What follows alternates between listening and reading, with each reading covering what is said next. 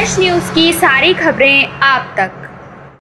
पूर्वी दिल्ली के लाल बहादुर शास्त्री अस्पताल में 15 वर्षीय नाबालिग किशोरी के साथ छेड़छाड़ का मामला सामने आया है। तबीयत खराब होने के बाद मंगलवार देर रात को परिजनों ने किशोरी को अस्पताल की इमरजेंसी में भर्ती कराया था।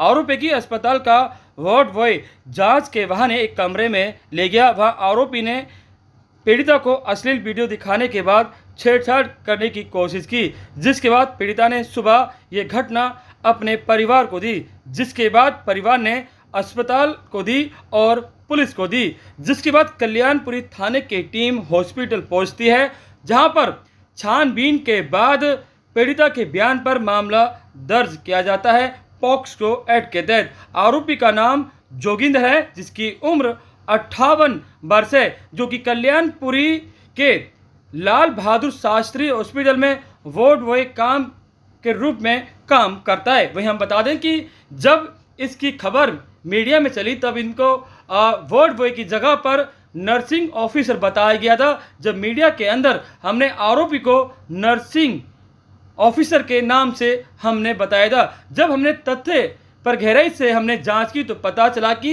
ये नर्सिंग ऑफिसर नहीं है, बल्कि एक ये कर्मचारी है, वार्ड बॉय के रूप में काम करता है। वहीं हमने नर्सिंग यूनियन से हमने बात की तो उनका कहना था कि आरोपी को हॉस्पिटल ने भी निकाल दिया है और हॉस्पिटल की तरफ़ से भी एक्शन ले लिया गया है। वहीं हम बता दें कि कल्याणपुरी थाने ने आरोपी पर पोक्सो एक्ट लगा दिया गया है। आरोपी का नाम जोगिंदर है, जिसकी उम्र अट्ठावन वर्ष है, जो कि लाल बहादुर शास्त्री हॉस्पिटल में एक वार्ड बॉय के रूप में काम करता था। बहरहाल पुलिस ने आरोपी को गिरफ़्तार कर लिया है, जहाँ आरोपी से पुलिस कर रही है पूछताछ।